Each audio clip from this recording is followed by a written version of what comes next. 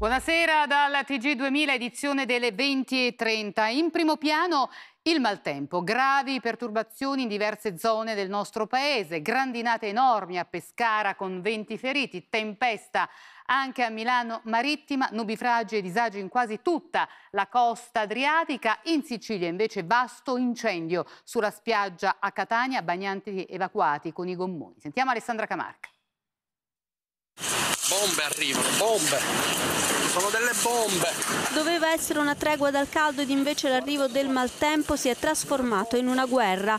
Una tempesta di grandine con chicchi grossi come arance ha investito la città di Pescara. Una ventina di persone sono finite al pronto soccorso a causa di questa pioggia di ghiaccio. Anche una donna incinta con ferite al volto e al capo è stata ricoverata. E dopo la grandine un nubifragio che ha allagato il piano terra e i seminterrati dell'ospedale di Pescara che ha costretto allo stop delle sale operatorie. Nel parcheggio dipendenti l'acqua ha raggiunto i due metri, decine le auto distrutte, ma l'ondata di maltempo non ha colpito solo l'Abruzzo. A Milano Marittima, in provincia di Ravenna, una bufera di pioggia e vento ha sradicato 200 pini secolari, ferita gravemente una donna. La tempesta ha colpito anche le Marche, causando allagamenti e devastando le spiagge di Numana e Sirolo. Un uomo è morto dopo essere stato colpito da un infarto osimo in provincia di Ancona durante la tempesta. Anche il santuario di Loreto ha subito dei danni, ma non ai ponteggi per il restauro di cupola e facciata, mentre un'intera ala dell'ospedale di Loreto è in impraticabile a causa della caduta di alberi. Non solo l'acqua però ha causato disastri, col vento caldo di Scirocco sono scoppiati diversi incendi a Catania, paura anche sul lungomare della Playa dove i bagnanti si sono riversati in mare per evitare le fiamme che lambivano i lidi. Ora la politica, tante le novità, Lorenzo Fontana alle politiche dell'Unione Europea, Alessandra Locatelli, nuovo ministro della famiglia, hanno giurato oggi pomeriggio, Salvini nella bufera, ci sarebbe stata una trattativa in un hotel a Mosca tra emissari del vice premier e alcuni russi per negoziare fondi proprio alla Lega. Sentiamo Augusto Cantelmi.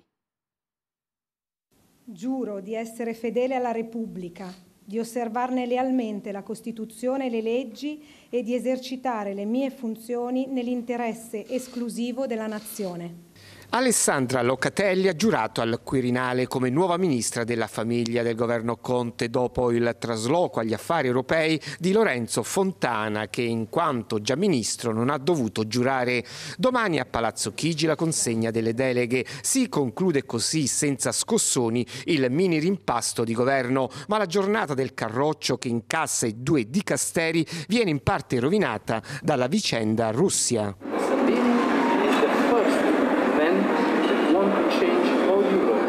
Nell'audio pubblicato dal sito americano BuzzFeed ci sarebbe la prova della trattativa tra l'emissario di Salvini Gianluca Savoini ed esponenti del Cremlino. Dall'accordo l'invio al carroccio di milioni di dollari frutto dei proventi del petrolio russo. Il PD attacca e invoca chiarimenti anche in Parlamento. Salvini annuncia querele, mentre per Savoini la Lega non ha mai preso un rublo. A difesa dell'alleato si schiera Di Maio che rilancia invece sul salario minimo. Che cos'è il salario minimo legale? È quella legge che finalmente metterà fuori legge gli stipendi a 2-3 euro all'ora. A Palazzo Chigi il vertice sull'immigrazione e il tentativo del Premier Conte di trovare un punto d'intesa dopo lo scontro tra il ministro della difesa Trenta e dell'interno Salvini. 16 milioni di pensionati in Italia, un terzo prende meno di 1000 euro. Sono i dati del rapporto annuale dell'Inps. 2 milioni gli italiani con il reddito di cittadinanza inferiori alle attese. Quanti hanno chiesto la possibilità di lasciare prima il lavoro con quota 100? Sentiamo Beatrice Bossi. Posso chiedere quanto prende lei? Di pensione? Nessuna. 510 euro al mese prendo. Quanto ha lavorato? Per quanto tempo ha lavorato? 40 anni. Che lavoro faceva? Vari, molti lavori. Come fa a vivere con 600 euro? Non pago niente. Sono quasi 5 milioni e mezzo gli italiani che finito il percorso lavorativo prendono una pensione inferiore ai 1000 euro. Numeri drammatici che fotografano però anche segnali di miglioramento. Lo afferma l'Inps nel rapporto annuale pubblicato oggi, secondo cui i pensionati al limite della sopravvivenza rispetto al 2017 sono diminuiti di due punti percentuali.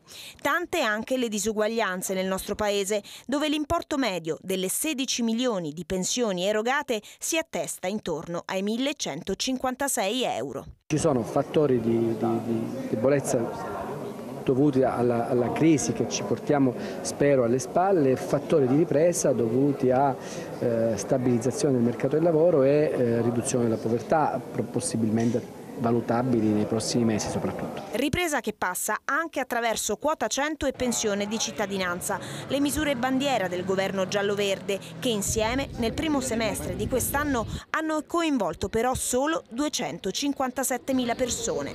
Le prossime mosse dell'Istituto di Previdenza punteranno a stanare le frodi relative alle pensioni di invalidità e contemporaneamente sostenere le famiglie più numerose. In ballo poi c'è anche l'ipotesi di istituire una forma di previdenza complementare pubblica. La cancelliera tedesca Angela Merkel è stata nuovamente colta da tremore davanti alle telecamere. Si tratta del terzo episodio in tre settimane. Questa volta la Merkel ha tremato visibilmente durante la visita ufficiale in Germania del premier finlandese. La cancelliera era al fianco del premier, i due stavano assistendo agli onori militari quando la Merkel ha improvvisamente iniziato a tremare. Le telecamere, come vedete, hanno colto il tremore. Il video in pochi minuti ha fatto il giro del mondo. Ma non preoccupatevi, sto bene e per un po' di tempo dovrò conviverci, ha detto ai cronisti in riferimento appunto a questo suo disturbo. E ora torniamo in Italia perché? Perché i nostri studenti non sembrano essere molto preparati. I risultati delle prove Invalsi 2019 sono allarmanti. Uno su tre alle scuole medie ha difficoltà a comprendere un testo in italiano. Sentiamo Barbara Masulli. Per avere un'idea del livello di apprendimento degli studenti basta guardare i risultati delle prove invalsi. L'italiano è un problema per il 35% dei ragazzi della terza media in seria difficoltà nella comprensione di un testo e la situazione non migliora alle superiori. Io credo che questa difficoltà nella lettura però non sia imputabile soltanto alla scuola. Qui noi stiamo vivendo una rivoluzione informatica. I ragazzi spesso leggono sul, sul cellulare, sugli schermi, hanno un rapporto diverso rispetto ai loro coetanei di tanti anni fa con il testo. Quindi la scuola deve un po' riposizionarsi anche nell'intercettare questa diciamo, diversa percezione del testo che hanno i ragazzi. Il quadro delineato dalla prova Invalsi è impietoso anche quando in ballo ci sono equazioni e grafici. Se in terza media poco più del 61% degli studenti apprende in maniera adeguata la matematica, alle superiori la percentuale scende al 58% e anche sull'inglese i nostri ragazzi non sono così ferrati, solo uno studente su tre completa il ciclo scolastico raggiungendo il livello richiesto, dati che evidenziano innegabili motivi di preoccupazione, dice il ministro Bussetti. In questo contesto già desolante la maglia nera va al sud. Le regioni del centro-nord hanno risultati decisamente più adeguati rispetto a quelle del sud dove in alcuni casi più di 6 ragazzini su, ragazzi su 10 non raggiungono i risultati previsti. Al sud i ragazzi hanno una diciamo, opportunità di accedere alle fonti del sapere inferiore rispetto a quella dei loro coetanei del nord. Quindi qua c'è un problema di giustizia sociale, c'è un problema di equità che va ristabilita. Sosta gratuita per i disabili sulle strisce blu, obbligo del casco in bicicletta per i bimbi di età inferiore a 12 anni, ma anche contrasto all'uso dello smartphone alla guida. Sono alcune delle novità previste nella modifica del codice della strada. Sentiamo i dettagli da Luciano Piscaglia. Pene più severe per chi telefona mentre guida, ma anche prevenzione per i bimbi in bicicletta. Importanti novità in arrivo per automobilisti e famiglie tra le modifiche al codice della strada approvate in Commissione Trasporti della Camera. Innanzitutto, come accade in gran parte dei paesi europei, i bambini fino a 12 anni dovranno obbligatoriamente indossare il caschetto quando vanno in bicicletta. Sì, cioè il caschetto va tenuto per tutti quanti i bambini soprattutto. Sì, sì, sì, molto d'accordo perché c'è più sicurezza e quando cadono sbattono meno la testa. Il mio andava senza casco, senza niente e se cade pazienza, si fa male. Non succede niente. Eh. Penso che sia una cosa utile e sicuramente che incrementi la sicurezza dei bambini. Saranno più duramente puniti invece con sospensione immediata della patente da sette giorni a due mesi gli automobilisti sorpresi a usare il cellulare mentre guidano. Perfettamente d'accordo, sì, assolutamente sì. È pieno di imbecilli in giro che guida col telefono in mano. Sono d'accordissimo. Ne ho beccato proprio prima uno che era fermo in mezzo alla strada col, telefo- col telefonino, dai. D'accordissimo, io ho il Bluetooth da almeno sei anni. Ma non è tutto. Il nuovo codice della strada, una volta completato l'iter parlamentare, conterrà anche l'obbligo delle cinture di sicurezza sugli scuolabus, le strisce rosa per le donne in gravidanza e per le mamme coi bimbi fino a due anni e sanzioni anche per il conducente dell'auto se il passeggero è senza cintura e della motocicletta se il passeggero è senza casco. Caso Orlandi, la cittadina vaticana scomparsa a Roma 36 anni fa. Domani mattina verranno aperte due tombe al cimitero teutonico dentro le mura vaticane per verificare se vi siano contenuti suoi resti, come da anonime segnalazioni scritte in una lettera spedita un anno fa ai familiari di Emanuela, appunto la quindicenne figlia di un dipendente vaticano di cui non si sa più nulla dal 22 giugno del 1983. In vista dell'imminente decisione della Corte Costituzionale sul tema del fine vita, chiediamo che il Parlamento, consapevole delle proprie responsabilità istituzionali, eserciti pienamente e tempestivamente la propria funzione legislativa in materia. Si apre così il comunicato stampa congiunto di alcune associazioni. Sentiamo Paolo Fucini. No a qualsiasi logica di scarto verso chi è segnato da malattie o vulnerabilità senza soluzione come fosse un peso infruttuoso. Nessun atto di eutanasia trovi avalli o giustificazioni in leggi italiane. Così sei sigle cattoliche si appellano oggi al Parlamento perché eserciti pienamente e tempestivamente, si legge, la propria funzione legislativa. Se le Camere infatti non affronteranno presto il tema, sarà la Corte Costituzionale a pronunciarsi, ma l'eutanasia, avvertono Movimento per la Vita ed associazioni familiari, sociosanitarie e di medici, psicologi e psichiatri cattoliche, è una violenza sbrigativa, fuorviante, che offende la dignità umana. Piuttosto aumentino sforzi e risorse per le cure palliative e l'accesso ad esse ovunque in Italia, altrettanto doveroso è astenersi da cure inefficaci o sproporzionate, ma sono i loro stessi ordini professionali, rileva l'appello, a rifiutare il coinvolgimento di medici ed infermieri in pratiche eutanasiche. All'appello fa eco il portavoce dei vescovi italiani Don Ivan Maffeis. La morte procurata non può essere mai vestita da atto terapeutico o gesto benefico. Andiamo ora all'estero. Sette bambini siriani sono stati uccisi a causa delle schegge di una mina esplosa nell'est della Siria in un'area in precedenza controllata dall'ISIS. Lo riferiscono fonti mediche di Dair az-Zor, capoluogo della regione orientale, ora sotto il controllo del governo. Le fonti citate dall'agenzia di notizie governativa precisano che i sette minori avevano un'età compresa tra i 9 e i 13 anni e che sono morti appunto in seguito alle ferite riportate all'addome e al capo da schegge di una mina esplosa nel distretto di Dabla. È ancora radioattiva la zona del sottomarino affondato 30 anni fa nel mare di Barents. Scienziati norvegesi e russi hanno riscontrato un livello di radioattività 100.000 volte superiore alla norma vicino al relitto del sommergibile sovietico Komsomolets, affondato per un incendio nel 1989 nel quale persero la vita 42 uomini dell'equipaggio. I rilievi sono stati effettuati a 1700 metri di profondità grazie ad un dispositivo di ultimissima generazione, come stiamo vedendo da queste immagini. La dirigente dell'Istituto norvegese di ricerca marittima che ha rivelato i risultati alla TV norvegese anche precisato che non ci sono minacce per la pesca nella zona. La squadra nazionale di calcio americana viene celebrata per la vittoria ai mondiali con una parata a New York. Le calciatrici accolte eh, per le strade di Manhattan come delle vere e proprie eroine vengono acclamate da migliaia eh, di persone sul carro insieme alle campionesse. C'è pure il sindaco. Vediamo. Letizia Davoli.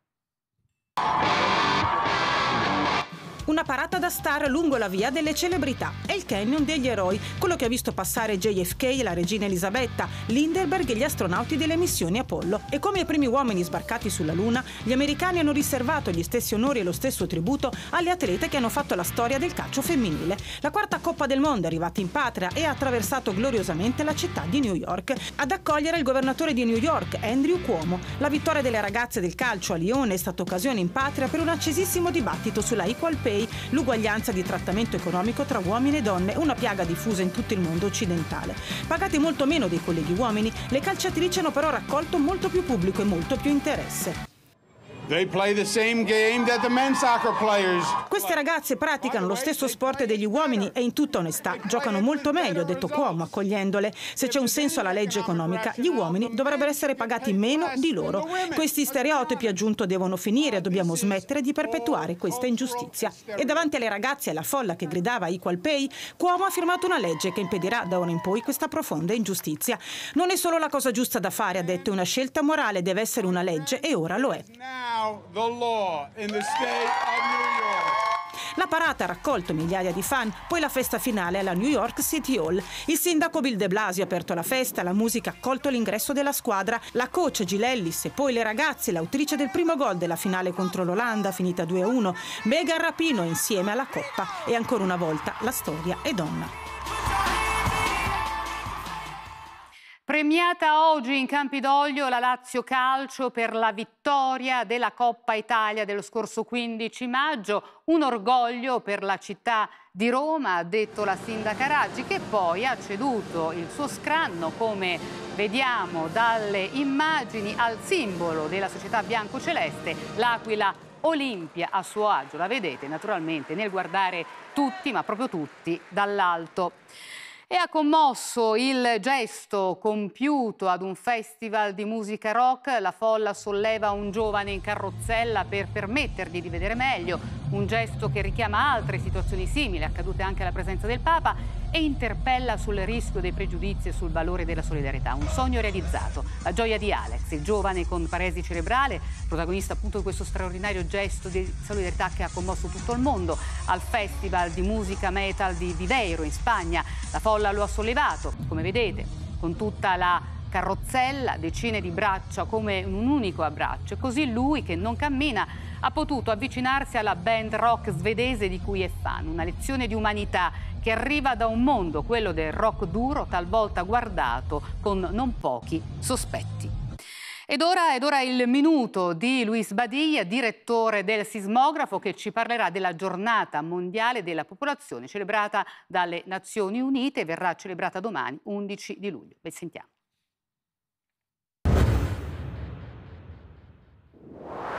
L'11 luglio le Nazioni Unite ricordano la giornata mondiale della popolazione giornata con la quale si cerca di sensibilizzare l'opinione pubblica sulle dinamiche demografiche, vale a dire su quei problemi che nascono in, una, in, quelle parti del mondo, in quei paesi dove la popolazione cresce in modo sostenuto e veloce, ma al tempo stesso in quei paesi e regioni dove la popolazione diminuisce, decresce in modo sostenuto. È il caso dell'Italia e di molti altri paesi europei e asiatici. Nel primo caso, i paesi dove la popolazione cresce in modo sostenuto, troviamo sostanzialmente nazioni africane. Questa realtà pone un problema fondamentale che è quello di chiarire qual è l'importanza della crescita o della decrescita della popolazione e qual è la verità di questi fatti, perché spesso si dice che la povertà e la migrazione è legata alla crescita della popolazione, ma i dati scientifici delle Nazioni Unite dimostrano che potremmo dare da mangiare e benessere a 12 miliardi di persone, invece siamo in questo momento 7 miliardi e mezzo. E questo pone un interrogante alle quali occorre dare una buona risposta. Ed è tutto per oggi, ora vi lascia la nostra Caterina Dall'Olio con il suo TG TG Estate, allora grazie per averci scelto e noi ci vediamo domani sera alle 18.30. Arrivederci.